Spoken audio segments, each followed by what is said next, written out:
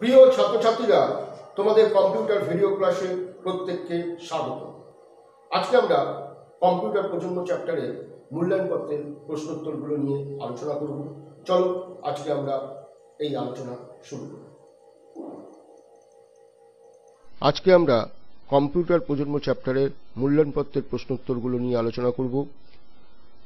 তো, প্রথমে তোমরা মূল্যায়নপত্রের এক, দুই তিন ও চার নম্বর প্রশ্নের উত্তরগুলো বইতে পেন্সিল দিয়ে করে নেবে। তারপর এই করে দেওয়া উত্তরগুলো তোমরা মিলিয়ে নেবে।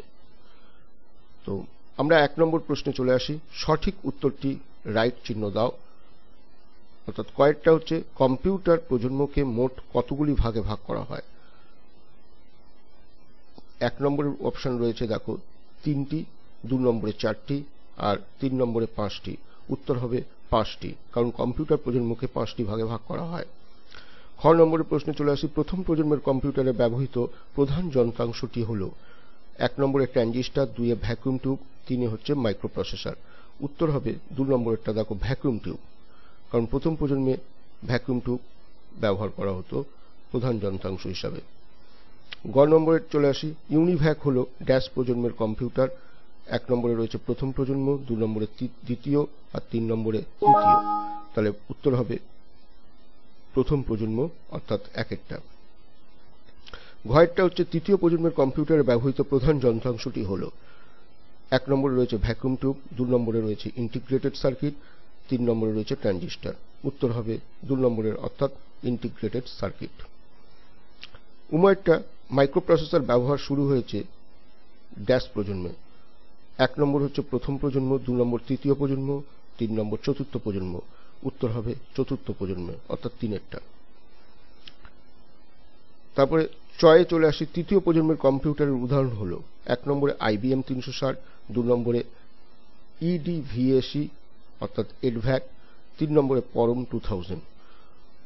উত্তর হবে এক নম্বরেরটা, অর্থাৎ আইবিএম তিনশো ষাট। এরপরে চলে আসি ছয়েরটা মহাকাশ গবেষণার কাজে লাগে ড্যাশ এক নম্বর হচ্ছে মিনি কম্পিউটার দু নম্বর মাইক্রো কম্পিউটার তিন নম্বর সুপার কম্পিউটার তাহলে এটা উত্তর হবে সুপার কম্পিউটার অর্থাৎ মহাকাশ গবেষণার কাজে সুপার কম্পিউটার ব্যবহার করা হতো, তাই উত্তর হবে তিন।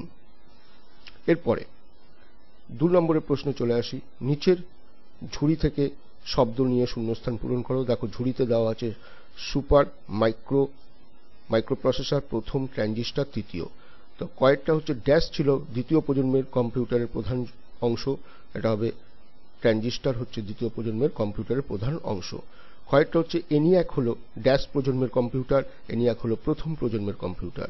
কয়েকটা হচ্ছে তৃতীয় প্রজন্মের ড্যাশ প্রজন্মের কম্পিউটারে ইন্টিগ্রেটেড সার্কিট ব্যবহৃত হয়েছিল বা ইন্টিগ্রেটেড সার্কিট ব্যবহৃত হয়েছিল প্রধান যন্ত্রাংশ হিসাবে।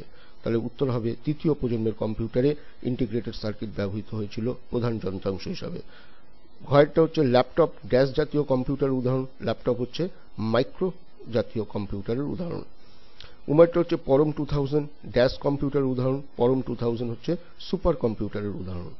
তারপরে চয়েরটা চলে আসি, মাইক্রোপ্রসেসর হলো ডাক টিকিটের আকারে ছোট চিপ, এটা হচ্ছে ড্যাশ হলো ডাক টিকিটের আকারে ছোট চিপ। এটা উত্তর হবে, মাইক্রোপ্রসেসর হলো ডাক টিকিটের আকারে ছোট চিপ। এরপরে তিন নম্বরের প্রশ্নে, আমরা নিচের উক্তিগুলির মধ্যে কোনটি সত্য কোনটি সত্য ও কোনটি মিথ্যে পাশের বক্সে তা লেখো। কয়েকটা হচ্ছে, প্রথম প্রজন্মের কম্পিউটার আকার ছিল ড্যাশ এটা হবে সত্য। কয়েকটা হচ্ছে, দ্বিতীয় প্রজন্মের কম্পিউটারে শীততাপ নিয়ন্ত্রণের প্রয়োজন হতো না, এটা হচ্ছে মিথ্যে। কয়েকটা হচ্ছে পঞ্চম প্রজন্মের কম্পিউটারে নিজস্ব বুদ্ধি থাকবে তা কল্পনা করা যায়, এটা সত্য। ঘয়েরটা হচ্ছে তোমরা বিদ্যালয়ে যে কম্পিউটার ব্যবহার করো, তা হলো মেনফ্রেম কম্পিউটার, এটা মিথ্যে হবে, কারণ এটা হচ্ছে কি না মাইক্রো কম্পিউটার আমরা যে বিদ্যালয়ে যে কম্পিউটারগুলো ব্যবহার করি, তা হলো মাইক্রো কম্পিউটার এরপরে চলে আসি উমারটায় ক্রে ওয়ান হলো এক ধরনের মিনি কম্পিউটার এটা মিথ্যে হবে, কারণ ক্রে ওয়ান হচ্ছে সুপার কম্পিউটারের উদাহরণ। তারপরে চয়ে চলে আসি। ভারতে তৈরি প্রথম সুপার কম্পিউটার হলো পরম টু থাউজেন্ড, এটা সত্য।